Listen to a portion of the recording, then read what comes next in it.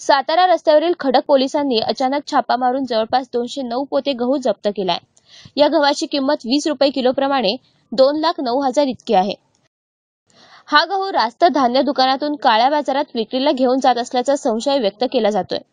खडक पोलिसांनी केलेल्या या कारवाईत तीन जणांना संशयित म्हणून ताब्यात घेण्यात आला आहे.